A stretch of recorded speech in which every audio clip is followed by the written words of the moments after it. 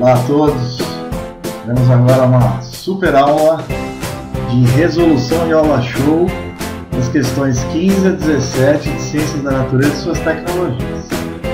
Vamos começar então nosso pequeno clipe aqui para você se organizar seu caderno. Essa prova de Ciências da Natureza, questão de 15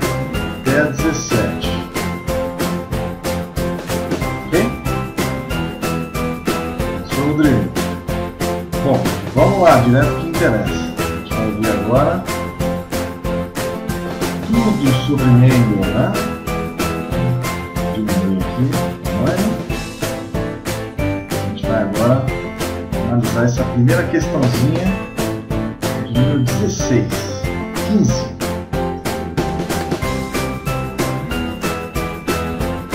Lembrando então, são três questões desse módulo então vamos começar.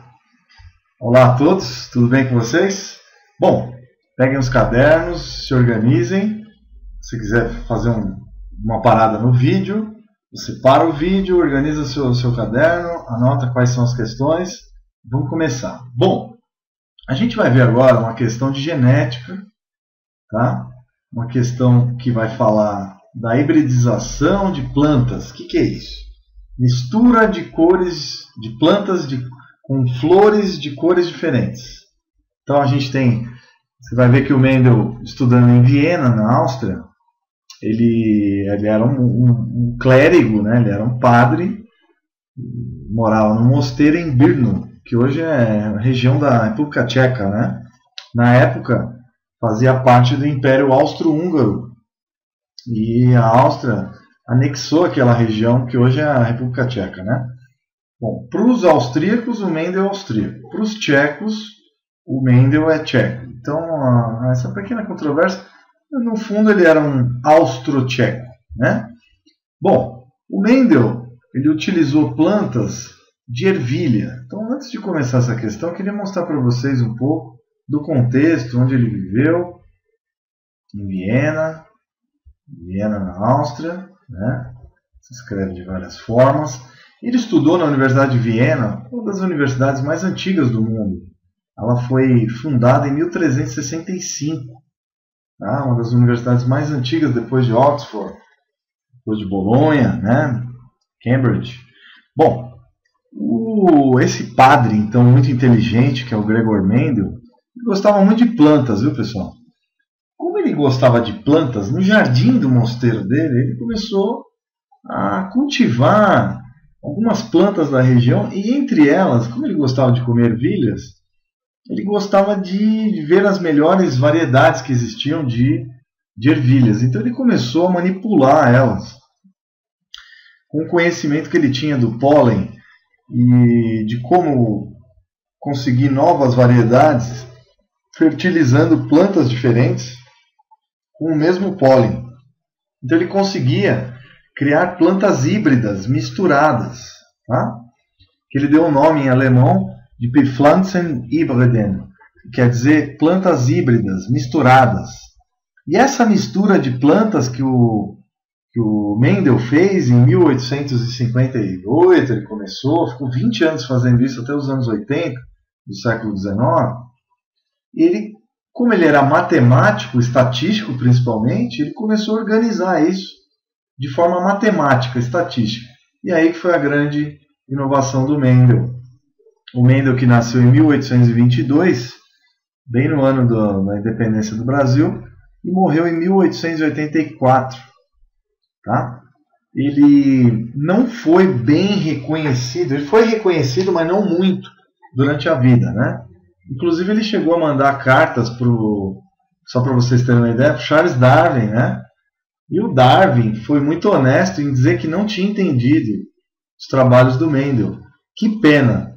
Se o Darwin tivesse colhido as informações do Mendel, da genética, ele teria, além de, de ter descoberto a seleção natural, ele saberia dizer como as variedades das espécies na Terra teriam surgido com a genética. Pena que ele não conseguiu entender, mas foi muito interessante. Então, Mendel, grande considerado pai da, da genética.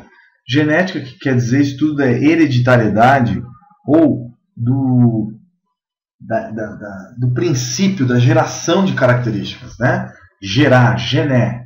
Gené vem de um termo latino que quer dizer grego origem, que dá origem às características. Então é o estudo das origens das características. Aqui, só para dar mais um exemplo, ele no seu mosteiro em Brno, República Tcheca hoje, região muito bonita, né?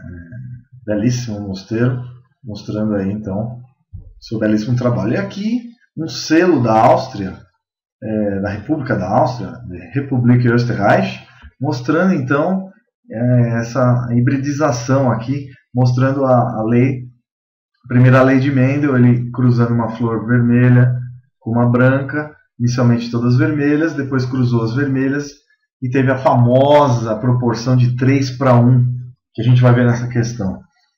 Três vermelhas para uma branca, que é a clássica demonstração de dois híbridos se cruzando. Né?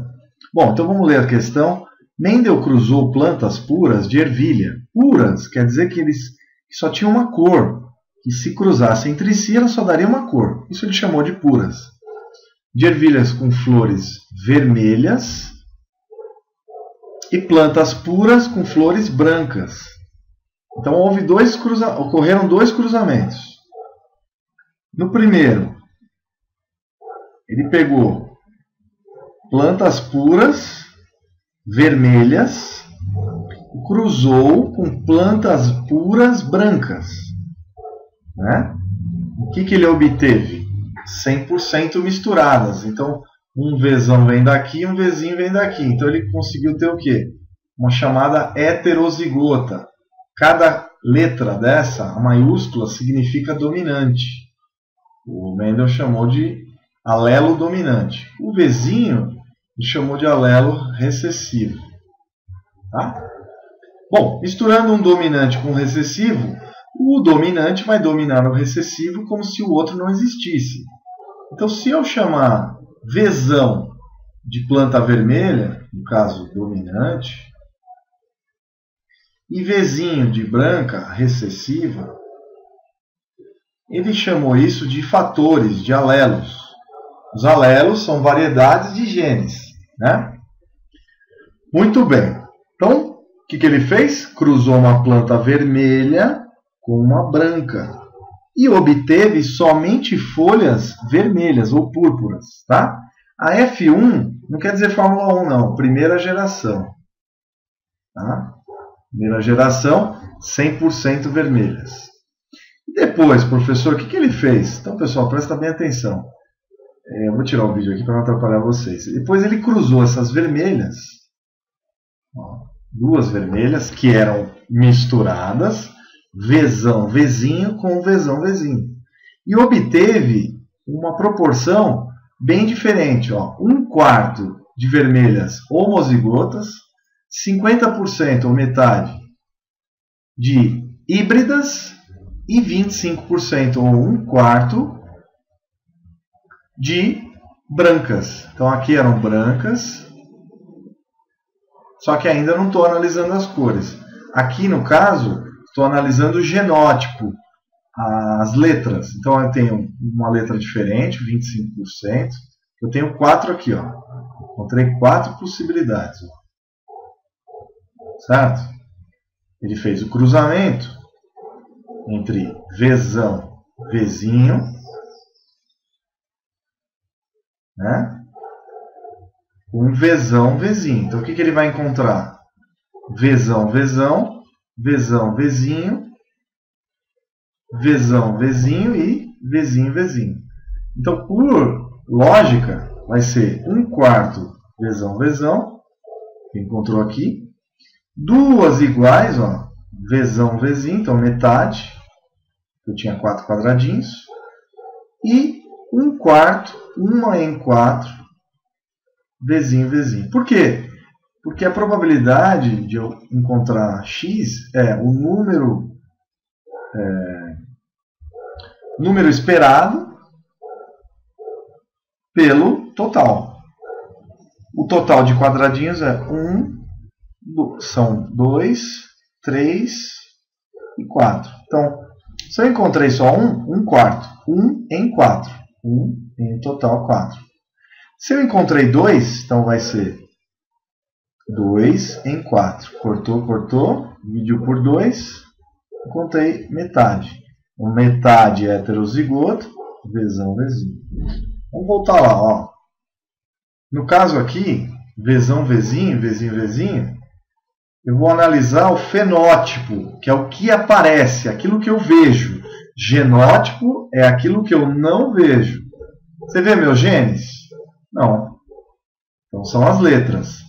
Mas o fenótipo é a expressão final, característica muitas vezes visível. Então aquilo que eu vejo. Se vezão quer dizer vermelha, é? E vezinho quer dizer branca, a que tiver vezinho, vezinho é branca. Certo? E as que tiverem vezão são vermelhas. Então vai dar 75% vermelhas e 25% brancas desse primeiro cruzamento aqui. Tá bom? Então anotem o cruzamento. O F1 é a primeira geração, F2 é a segunda geração. Repito, vou mostrar lá em cima o que, que ele fez. Então, Mendel fez um grupo parental, chamado os pais. Ele cruzou uma flor vermelha. Cruzou uma planta vermelha.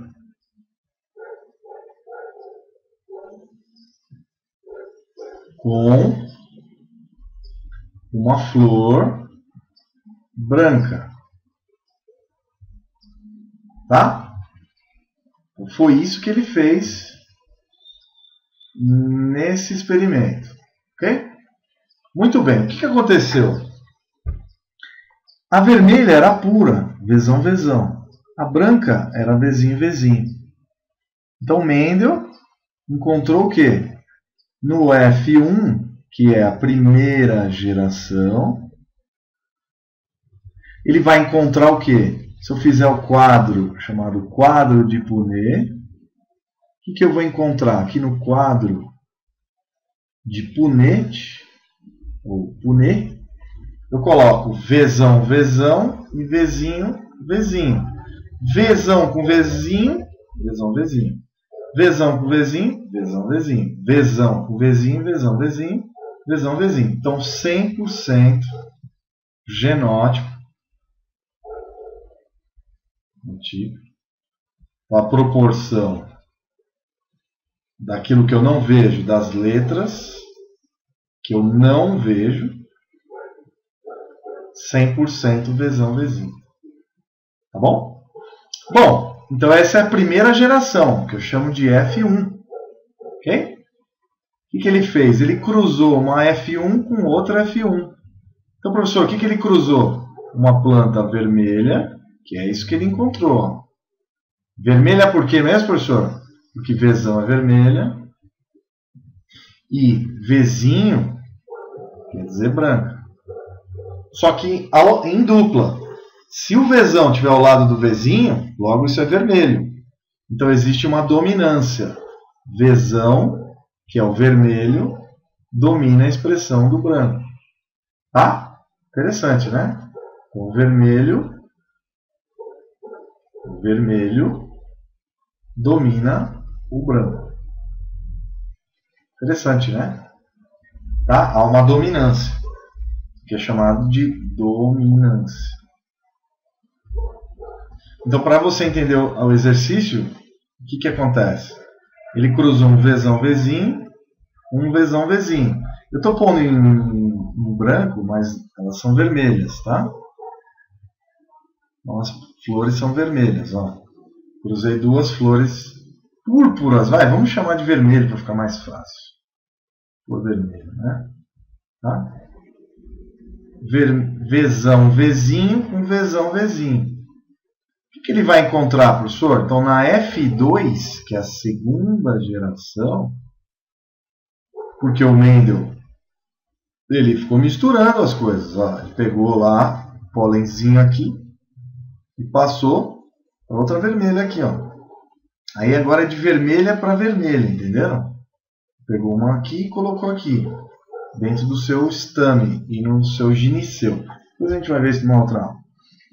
Usando o quadro de Punet, o que, que vai acontecer aqui, gente? Eu vou chamar, agora eu vou colocar branco tudo para facilitar a sua visualização. Vzão, Vzinho e Vzão, Vzinho. Então vai ficar, eu vou, posso pôr uma cor verde, lá. Vai ficar Vzão, Vzão, Vzão, Vzinho, é é? Vzão com Vzinho, em vez de eu pôr o Vzinho na frente, eu ponho sempre o maiúsculo na frente. Então fica Vzão, Vzinho. E aqui é Vzinho com Vzinho, então vai ficar Vzinho, Vzinho. Usando a tabela, Vzão não é vermelho? Vzinho não é branco? Então vamos lá. Agora eu vou dar a proporção dos genótipos, que é aquilo que eu vejo, só as letras. A proporção genotípica. E aqui a proporção fenotípica, que é o que eu vejo. O que você vê de mim é o meu fenótipo. Ó. Fenótipo. Tá? Meu fenótipo. Não o meu genótipo. Você nem enxerga o meu DNA aqui no meu olho, concorda? Então aqui eu vou só olhar para as letras. Então eu tenho Vzão, Vzão, só um. Então é 1 quarto Vzão, Vzão ou 25%. De Vzão, Vzinho eu tenho duas. Ó.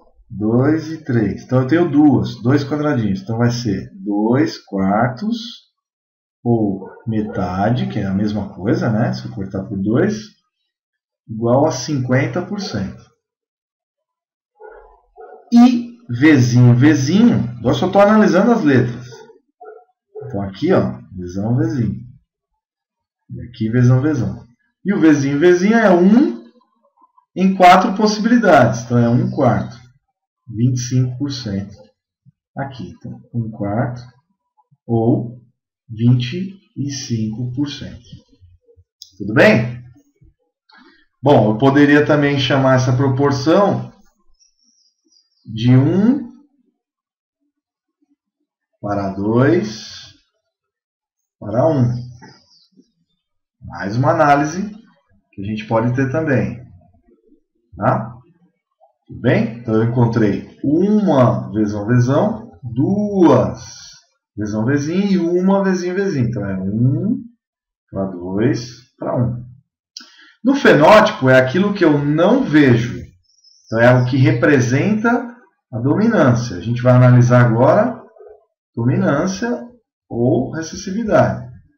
Se eu encontrei no primeiro caso vezão vezão, no segundo vezão vezinho, e no terceiro, vezinho, vezinho, o que, que elas representam na realidade? Bom, essas aqui, encontrei uma dessas, duas dessas e uma dessas. Essas aqui, três em quatro quadradinhos, ó, três quartos vermelhas. E um quarto branca tá? Ou brancas. Bem? Então vai ficar 3 para 1. Proporção então de 3 vermelhas para uma branca. Tudo bem? Então a proporção é 3 para 1. Famosa proporção. Então, quando eu, multiplo, eu, eu cruzo dois chamados heterozigotos. Professor, o que é heterozigoto? Não tem dois alelos diferentes. No caso, no primeiro caso, o Mendel ele cruzou um homozigoto, planta homozigoto dominante com um homo, homo quer dizer igual, um zigoto com alelos iguais, um homozigoto recessivo, com letras minúsculas, que é dominado pelo dominante. Então, se eu cruzar sempre dois heterozigotos, eu vou encontrar 3 para 1, 3 quartos para 1 quarto. Espero que vocês tenham entendido. Qualquer dúvida, manda e-mail. Bom, então tá aí o primeiro caso. E ainda não acabou a história, porque a gente ainda não leu a questão toda. Questão tá. Eu dei uma aula sobre genética para você entender agora o que vai acontecer. Então, ó, Mendel cruzou plantas puras de, er ervilhas vermelhas com plantas puras com bran flores brancas e observou que todos os descendentes tinham flores o quê? Vermelhas. Bacana, né? Muito bem. É... Nesse caso, Mendel chamou a cor vermelha de dominante, do jeito que a gente viu, e a cor branca de recessiva. Então, vermelha, dominante, branca, recessiva. Tá? Hum, a explicação oferecida por ele para esses resultados era de que as plantas de flores vermelhas da geração inicial P, parental, que a gente viu dos pais, mamãe planta e papai planta, possuem dois fatores dominantes, iguais para essa característica, vesão, vesão. E as plantas brancas possuem dois fatores recessivos, vezinho, vezinho. Por que fatores? Porque o Mendel não chamava de genes nem nada, ele chamava de fatores, tá? Todos os descendentes desse cruzamento da primeira geração, F1, o que a gente viu aqui, ó, são todos vermelhos. Vzão, Vzinho. A gente já viu isso, fizemos duas vezes. Então, ó, eram Vzão, Vzinho. Combinação que assegura a cor vermelha, porque o V domina o Vzão, domina o Vzinho. Então, cor vermelha, o gene vermelho domina o gene para a cor branca. Os fatores, né? Como o Mendel chamava. Tornando-se um grupo de plantas cujas flores são vermelhas, como distinguir aquelas que são vezão, vezão, daquelas que são vezão, vezinho? Hum. Bom, agora a gente vai ver um exemplo de, de cruzamento teste, ou chamado retrocruzamento. O retrocruzamento ele é muito usado quando a gente não sabe que tipo de dominante a gente está trabalhando. Se a gente está trabalhando com um dominante que é homozigoto, dominante, ou se é um hétero, sou hétero, gosto de outra. Hétero quer dizer outros alelos, que tem alelos diferentes. Então, eu não sei se o vermelho, aqui, esses dois aqui são vermelhos. Ó. Todos que têm vezão, não importa o que tiver do lado, se for vezão, vezão, ou vezão, vezinho. Mas eu não sei na prática, porque eu não enxergo isso no dia a dia, não vejo isso na planta. Eu só vejo se ela é vermelha ou não, tá? Mas eu não enxergo os seus genes. Então o que, que a gente faz? Cruza-se com um recessivo. Hum, uma planta branca, no caso. A que, a que obtiver 100% vermelhas, ela é dominante. A que eu tiver metade, ó, metade. Se eu cruzar então Vzão, Vzinho, um Vzinho, Vzinho, o que, que eu vou encontrar? eu vou encontrar o quê? Vzão, Vzinho, Vzão, Vzinho, Vzinho, Vzinho e Vzinho, Vzinho. Então a metade Vzão, Vzinho e metade Vzinho, Vzinho. Nesse caso, eu sei que esse cara aqui é heterozigoto. O vermelho vai ser heterozigoto. Então eu faço o famoso cruzamento teste, cruzando-se com recessivo conhecido no caso a, flor branca. Foi isso que Mendel genialmente fez. Genialmente porque ninguém nunca tinha visto isso. Ninguém nunca tinha analisado dessa forma. Então vamos lá. Ah, vamos julgar agora os itens. Cruzando-se entre si, é possível identificar as plantas que têm o fator Vzinho na sua composição pela análise de características externas? E se for todas Vzão, Vzão? Só sai vermelho, não tem como. Então não pode ser. E a B? Cruzando-as com plantas o quê? Recessivas. Então, vezão, vezão, com vezão, com vezinho, vezinho, ou vezão, vezinho, com vezinho, vezinho. As flores brancas, aqui são flores brancas, ó. como a gente viu aqui em cima. Foi isso que a gente viu, né? O que, que vai acontecer? O vezão, vezão produzirão apenas descendentes de flores vermelhas, correto? Voltamos lá. Ó, o vezão, vezão, com vezão, vezinho vai dar sempre o quê? A mesma coisa, ó. Vezão, vezão, um vezinho, vezinho. Vai dar vezão, vezinho, vezão, vezinho, né? Vezinho com vezão, então vai dar vezão, vezinho e vezão, vezinho. 100% vermelhas. Hum, muito bem. Então tá tudo batendo até agora, ok. Enquanto vezão, vezinho podem produzir descendentes de flores brancas. Sim. Ó, se eu cruzei aqui e encontrei esse cruzamento aqui, ó, Vzão, Vzinho, com Vzinho, Vzinho. Essas aqui são brancas, ó. Metade brancas e metade vermelhas, ó. Vzão, Vzinho, vermelhas. Hum. Então, a Vzão, Vzinho, heterozigoto, cruzando com um recessivo, vai dar metade heterozigoto metade recessivo. Isso sempre vai acontecer. Se for azão, azinho com azinho, azinho, vai dar metade azão, azinho e metade azinho, azinho. Isso serve para a cor dos olhos, para tudo. No meu caso, por exemplo. E aí vai, no seu caso, todo mundo. Então, voltaremos lá. A resposta B é a correta.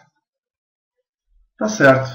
Tudo bem? Então, ele cruzou uma vermelha que a gente não sabia qual eram os genes. Se ela deu só vermelha, a gente descobre então que ela era dominante. E se deu uma porcentagem branca e uma porcentagem vermelha, a gente descobriu que ela era heterozigota. Então é assim que a gente consegue saber se o cavalo é híbrido, se uma planta é misturada. Ah, que beleza. Então a B está aí.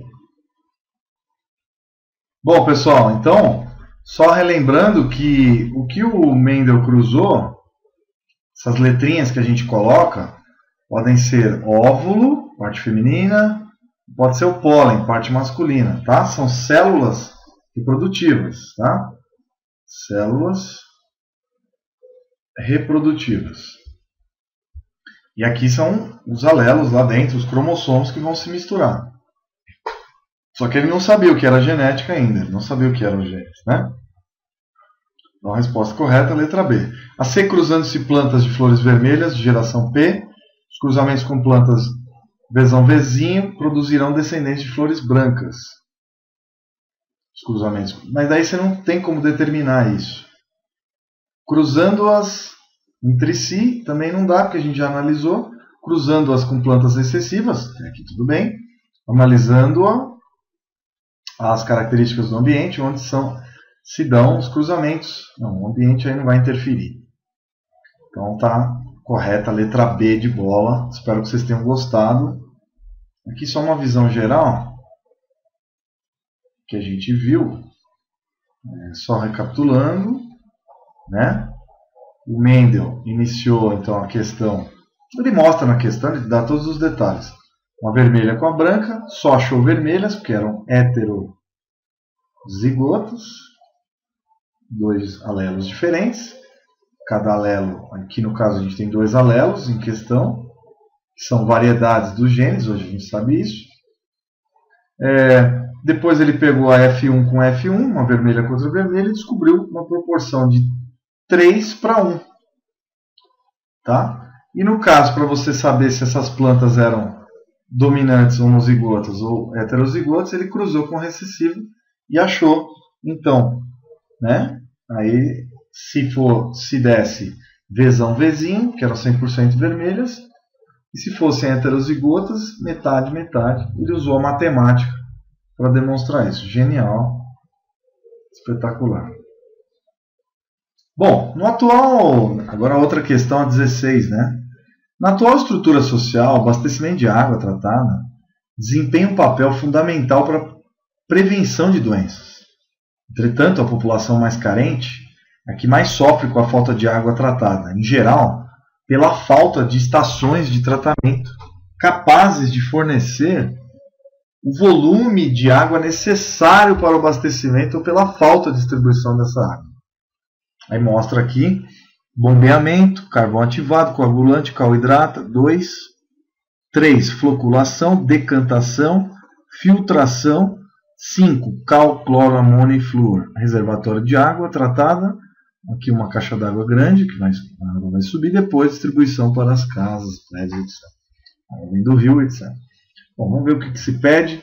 O sistema de tratamento de água, apresentado na figura, as palavras-chave. Remoção de odor, o que ele quer. E desinfecção da água coletada ocorrem respectivamente nas etapas 1 e 3, 1 e 5, 2 e 4, 2 e 5, 3 e 4. Bom, vamos começar. Bombeamento, que a água é retirada do rio, levado até a floculação. O que é floculação? sedimentos da água, as sujeiras da água vão ser batidas, vão ser literalmente e vão para um liquidificador gigante. E aí vão se vão se misturar aqui em toda a região. Depois, por gravidade, a gravidade vai puxar tudo para baixo. Não, não é, galera? A gravidade é implacável, né? Ela vai pedir para tudo descer.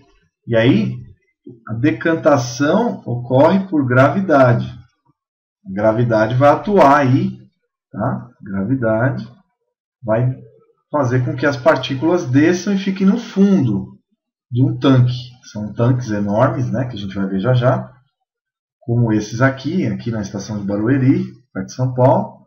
Então, esses tanques trazem a água e deixam decantando, a água de... as impurezas vão descendo. Tá? Aqui estação de São Paulo. São Paulo tem 98% de água tratada, né? Bom, os dosadores, floculação, a água batida e aqui é decantada, ó. A pá, o lodo vai descer, é um lodo. Aí tem um canal de esgoto, tá? Depois vai ocorrer o que? Canaletas que vão levando assim essa água. E a gente vai ver aqui a etapa da questão para a gente entender o que, que se pede. Depois tem carvão, areia e cascalho. Porque filtração. Toda vez que você vê carvão, areia, cascalho, é filtração para tirar as partículas da água. E depois cal, cloro, cal queima, né? Cloro mata bactérias, amônia também é tóxico e flúor diminui, diminui a incidência de cáries, né? Então, aí para quê? Desinfecção. Ah, desinfecção infecção. O carvão ativado, pouca gente sabe, ele retira o cheiro. Hum, retira o odor, o cheiro da água. Tanto é que se você deixar alguma coisa estragada na geladeira, você pode usar um carvão, aqueles de churrascaria, ou de churrasco, você coloca ele na geladeira e tira o odor, é, o odor putréfato, de cheiro de, de coisa podre da geladeira. Então a gente já tem a resposta. Olha aí. Então para desinfecção, olha lá. Pode ser 1 e 3? Não. 1. 1 é o quê? 1 é bombeamento. Não. Então, tudo que tiver 1 eu corto. Ó. Cortei, cortei. 2. 4. 4 é floculação. Filtração não é o caso. Filtração não desinfecciona a água, não tira, não, não tira as bactérias da água. Isso a gente precisa de produto químico para fazer. Tratamento químico, um tratamento químico e tem mais ainda. Tratamento físico, pode ser com raios UVA e UVB. A gente pode tratar com ultravioleta. Aqui no caso é D. Vai ser na, na parte 2, né? na 2, que é carvão, coagulante, cal hidratado. Cal também é usado, por exemplo, animal morre, né? Vou enterrar o animal. O animal está fedendo, põe cal, diminui o cheiro. Interessante, tá? O carvão ele tira o cheiro. Por isso que tem carvão no filtro de água. Hum, interessante. Pode olhar aí no seu filtro de barro na sua casa. 3 e 4 3 é floculação e decantação, aí no caso são processos físicos. Está mexendo a água e decantando, deixando ela descer. Decantar é descer. Tá? Aí o lodo vai ser retirado no esgoto. vai servir de adubo, etc. Tá? E depois, então é tratado. Então é D. Aqui só para vocês terem uma visão completa do tratamento de água. Aqui a entrada do duto de cloro e flúor. Aqui já é o processo físico. Tem as filtrações, os filtros. Carvão, areia, pedregulho, né? Ocorre então a retirada da água lá do manancial. Ó. Represa de decantação. Bacia de tranquilização. Tanques de floculação, vou mexer, decantar, o lodo desce. Canaletas de filtração. Aí passa por filtros. Depois é, entrada de cloro, cal e flúor para tirar as bactérias. Aí vai para as adutoras e para a caixa d'água, reservatório do bairro. E termina o tratamento. Então a água filtrada vai ser acrescentada cloro, cal e flúor. O cal eleva o pH, impede a corrosão dos canos do abastecimento. Já o flúor previne as cáries da população. E o cloro mata as bactérias. Legal, né? Tá bom? Vocês dão uma olhada e leiam aqui, ó. Dá uma lida. Captação da água, válvulas controlam o fluxo, depois etapa de floculação, os tanques menores válvulas promovem turbulência, depois ocorre a decantação, demora minutos, uma hora e meia, cada decantador há dois grandes pás, e aí vai. Depois usa-se pedregulho, areia e cal para filtrar a água, e aqui a visão geral do tratamento de água chamada ETA, Estação de Tratamento de Água. Tá? A gente tem então todo o tratamento de água indispensável à saúde humana. Tá bom? Então, letra D de Dinamarca. E a última questão, a gente vai ver agora. Então, voltando aqui à análise, agora a gente vai ver questão 17. Tá? Grande, grandes questões aí, questões importantes. Então, vimos que o tratamento de água precisa de bombeamento. Vimos ainda precisa de uma floculação, filtração inicial, tirada de, de odor, né? Então ocorre então a retirada de odores, uma pequena filtração, coagulação, né, que eles chamam, depois decantação, filtração e cloração, fluoretação, né? E depois o, a emissão para o reservatório e depois para as casas. Muito legal. Agora a gente vai ver a questão número 17. O controle de qualidade é uma exigência da sociedade moderna, na qual os bens de consumo são produzidos em escala industrial. Nesse controle de qualidade são determinados parâmetros que permitem checar a quantidade de cada produto. O álcool combustível é um produto de amplo consumo muito adulterado pois recebe adição de outros materiais para aumentar a margem de lucro de quem comercializa. De acordo com a Agência Nacional de Petróleo, a ANP, o álcool combustível deve ter densidade entre 0,805 gramas por centímetro cúbico. Então, densidade é massa por volume. Falem comigo. Densidade é igual a massa por volume. Tá? Então, massa é dada em gramas ou quilogramas, né? Então, o volume pode ser em metro cúbico, centímetro cúbico ou lá o Q cúbico, né? Então, densidade é massa, quantidade de matéria, por volume, que é o volume ocupado. Então vai de 0,805 gramas por centímetro cúbico e 0,811 gramas por centímetro cúbico. Então essa é a variação 0,805 a 0,811 gramas por centímetro cúbico. Em algumas bombas de combustível, a densidade do álcool pode ser verificada por meio de um decímetro, similar ao desenhado abaixo.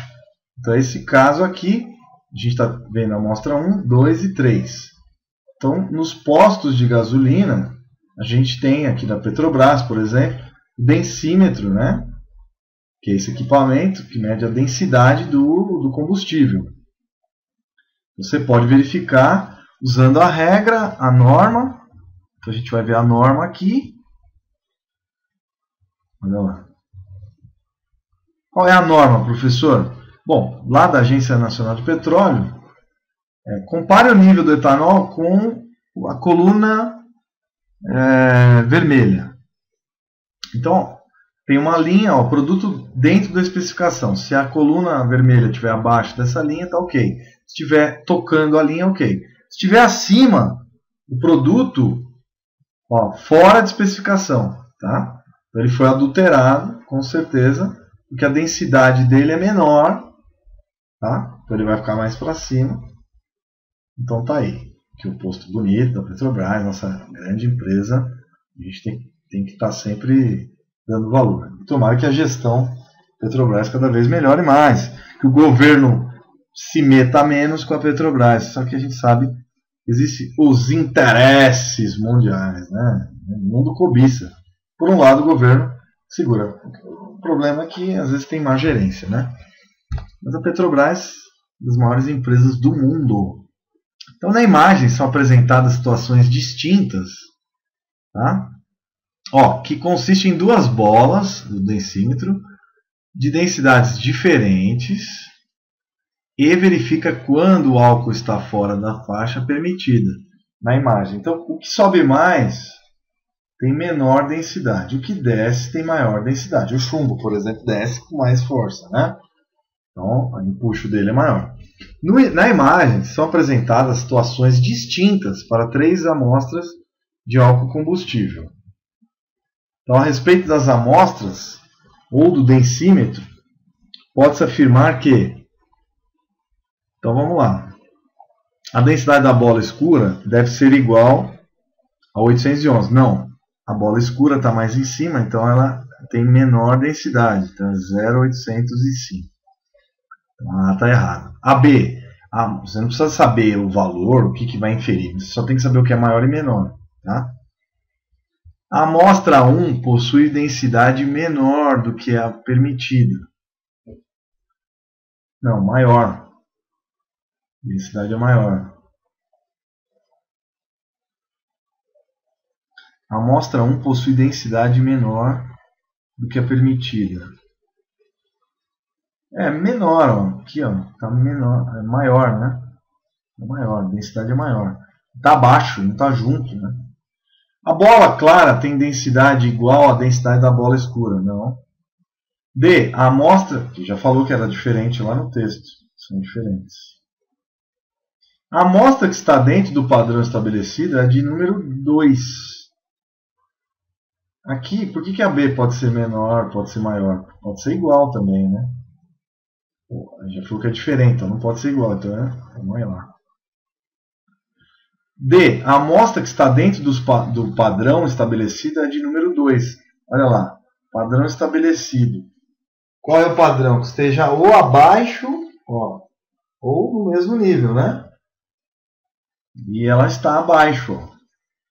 Tá bem diferente, mostrando a diferença das densidades. Tá? Aqui aparenta estar igual. Aqui também, que não pode, né? Maior densidade, aqui menor densidade. Então a resposta correta é D por enquanto. Você está tendo diferença de densidades, uma mais densa, que é essa amostra cinza, e a escura menos densa, ela em cima. Bom, e E? O sistema poderia ser feito com uma única bola de densidade entre zero. Não, não tem como. Não tem como diferenciar. Né? Então a resposta é a letra D. E a gente finaliza a nossa, nossa análise.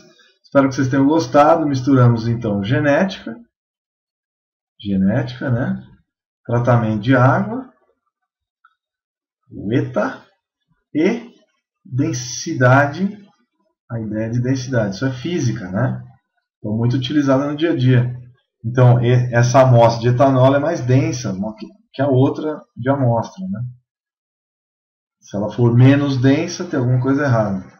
Quer dizer que eles puseram algum material mais leve, solvente, por exemplo. Tá bom? Então, um grande abraço a todos. Espero que vocês tenham gostado. Questões de 15 a 17. Ciência da Natureza e Suas Tecnologias 2009, prova cancelada. Grande abraço, estudem bastante, revisem o que eu falei. Tchau, tchau.